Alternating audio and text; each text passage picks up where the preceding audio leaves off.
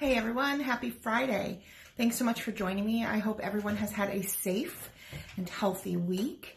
I wanted to just kind of go over a few things with us today because everything lately has happened so fast. Um, typically when we see this type of shakeup in businesses and the stock market, you know, usually it's there's a little bit more of a buildup. There's a little bit more time. And frankly, this all happened for all of us so quickly.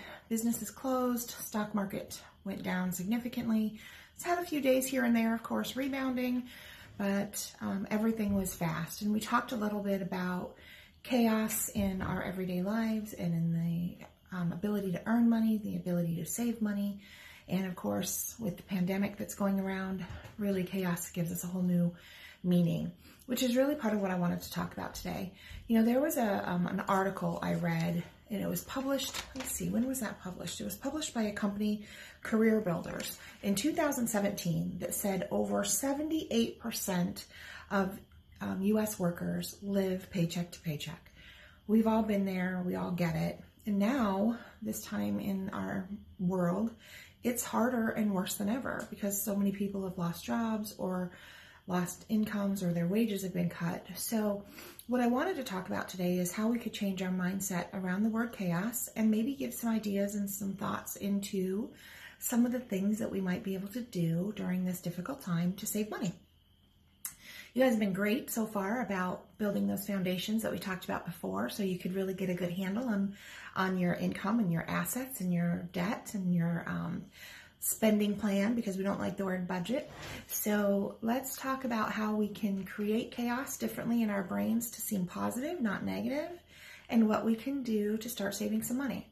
So when we think of the word chaos, we think of out of control, fast, chaotic, busy, overwhelming. What if we change the way we think about that, ladies, and think about creating her assets, objectives, and strategies? What if we think about chaos, instead of being an overwhelming feeling, we use the chaos in our world today to start creating our assets, our objectives, and our strategies for our own personal financial empowerment. So, what are some of the things that we can do um, in order to start streamlining how some of our expenses are made? You know, right now, more than ever, a lot of lenders are being really, really um, generous in their ability to forego late fees or to waive penalties for late fees or even give you payment deferrals. So please know that there's no company above being asked. Contact your mortgage company, see if they have any type of deferment program. Contact your car company, see if there's any deferment opportunity there. Contact your credit card companies, see if they can cut your interest rate in at all. May they may or may not some of these companies may or may not make any types of changes in your payments. But what's the harm in asking? Because right now everyone is in the same boat right?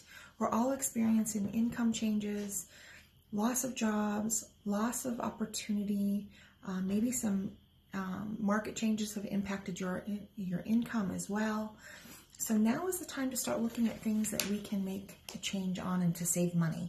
And speaking of investments, if you have more than one IRA, you may want to consider taking a look at that and seeing if they are the types of IRAs that can be consolidated. If you are holding more than one IRA, whether it's in a CD or an investment, an annuity, a mutual fund, a stocks, a bonds, whatever it might be in, you may potentially be paying an annual fee on each and every one of those IRAs. Now, some IRAs can be combined and others can't, but it's worth talking to your financial advisor. And if you don't have a financial advisor, give us a call here at Turning Tides Financial and we'll be happy to answer any questions that you have. That's one thing that we could certainly do, maybe save us a little bit of money here or there. Another thing is, is if you have credit card points. You know how those credit cards sometimes give you either um, the ability to use the points towards travel, or you can convert it into cash and pay part of your bill.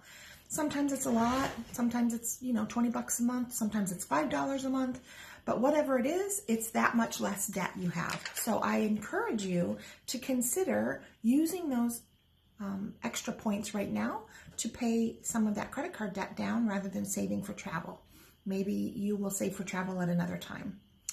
Let's talk a little bit about an, a purchasing strategy that I started implementing with myself about a year ago, well, maybe longer.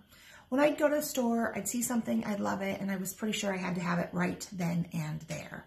And then, of course, um, unfortunately, I went through a divorce and I had the um, opportunity, I'm going to say, to start retraining the way that I looked at things and the way that I purchased things. And it was really very empowering. Now, what I do is when I see something that I am sure I cannot live without because, you know, it's all about instant gratification, right? Um, what I try to do is say to myself, I'm going to leave this store or I'm going to sign off of this website or I'm not going to purchase whatever that item is for 24 hours. If I will leave that store and find my way back a day later, it was really important to me to have it. But you know, I would say at least a good 60 or 70% of the time, I determine, ah, you know what, I'm glad I didn't get it. It, it was great, but I don't really need it. I gave myself the opportunity to pause. The power of pause, ladies, is an important part of our world. It's so powerful and it really gives you that control back. So there's three little ideas that might help you save a little money here and there, change a little bit of the way we think about our money. So now you've looked at your bank statements, you've looked at your saving strategies, you've looked at your um, spending habits, what you spend money on and how you spend and where. So I hope that you can take some of these tips and ideas and start implementing into yourself so that you can start feeling financially empowered, monetarily motivated, and mindful of your spending habits.